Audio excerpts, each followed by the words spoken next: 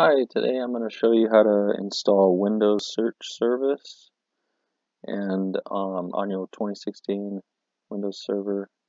So first thing, open your Server Manager, go to your dashboard.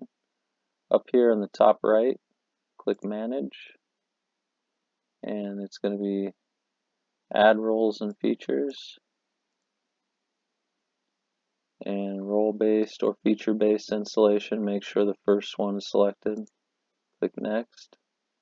Make sure your server, server is highlighted. Click Next. And click Next here.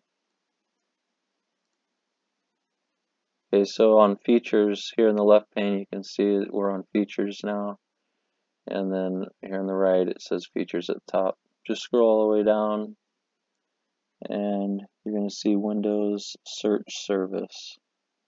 Click that, hit next, and install.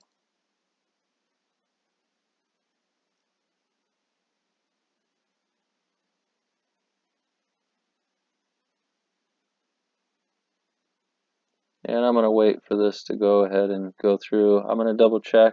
Uh, I'll show you how to double check and make sure you have it installed and that it's going to uh, start up uh, automatically. So looks like it has succeeded. So right here, it, the installation succeeded. Just hit close and go to tools.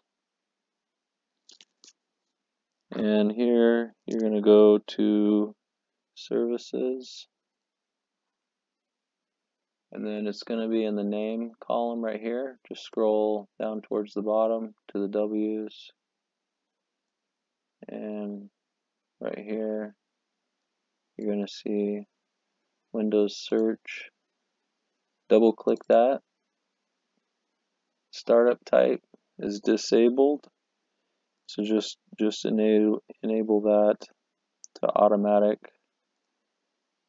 and hit apply and you're good to go. So I hope that helps. Thank you for watching.